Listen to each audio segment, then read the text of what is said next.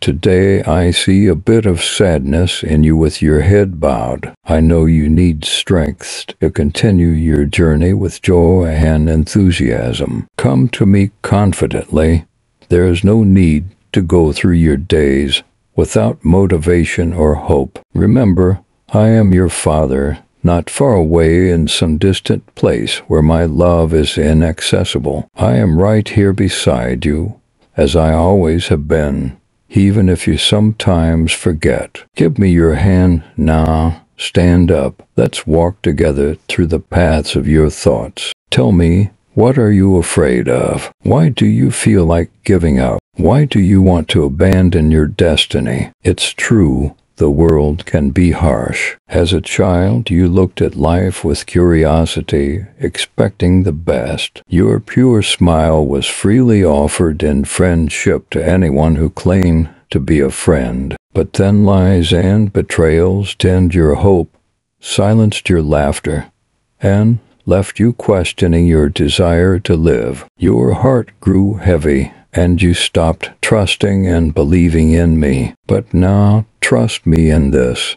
I understand you and know you as intimately as I know the heavens. Just as I call each star by name, I know every burden you carried, every wound, and even your smallest pain. I understand it all. We speak the same language, and I know exactly what will bring you comfort. I surrender my plans, both grand and small, to your will. You have promised in Psalm 37 to 5, Commit your way to the Lord, trust in him, and he will do this. Shower me with your wisdom as I navigate financial matters. Order my steps, Lord, and lead me to the provisions you have already laid out for me. I believe with unwavering faith in your magnificent plan for my life a plan that promises not just survival, but prosperity and hope. Bless me not just for myself, but so I can be a blessing to others. May your favor elevate me beyond any human limitation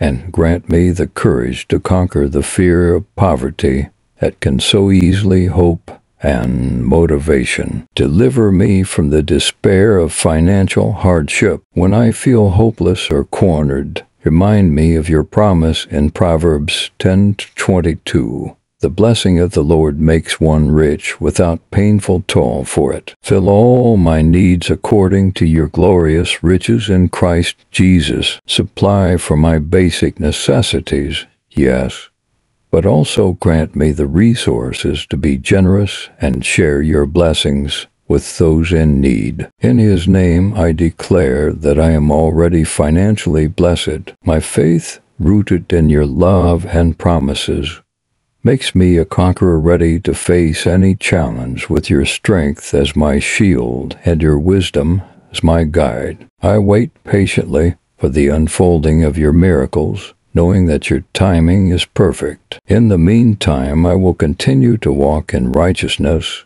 trusting that you will honor your word and open doors of opportunity that align with your will for my life. With open hands and a trusting heart, I surrender my finances to your loving care. Your word in Proverbs 3 2 5 to 6 guides me. Trust in the Lord with all your heart and lean not on your own understanding.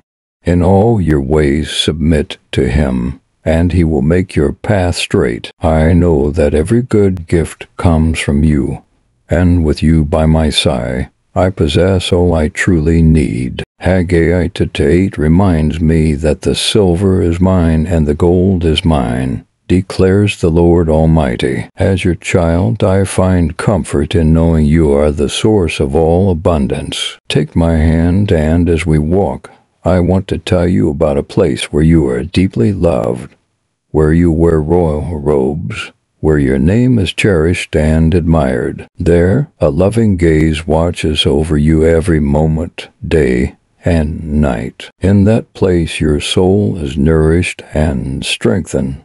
Like a hungry bird finding sustenance, there you become who you truly are a beloved child of the omnipotent Creator. made in the image and likeness of the one who formed the universe. Never forget this. If you stumble again, remember that in the most beautiful place in the entire cosmos, you have a special place just for you, and nothing and no one, and take that away. That place is in the deepest part of my heart, where you are protected and where you have every right, as my child, to come and speak with me every morning, even if you feel unworthy. Do not be deceived by lies. I have washed your life clean with my sacrifice. Once again, I assure you, no one can take you from this place. Even if the entire universe shakes, nothing can uproot you. No one can separate you from me. In my heart, you will always remain my little one, my cherished child. You are not defeated. You are still fighting still alive, still standing. You have chosen to believe in the promises I have made to you, and that fills you with divine and supernatural strength. Nothing can overcome you.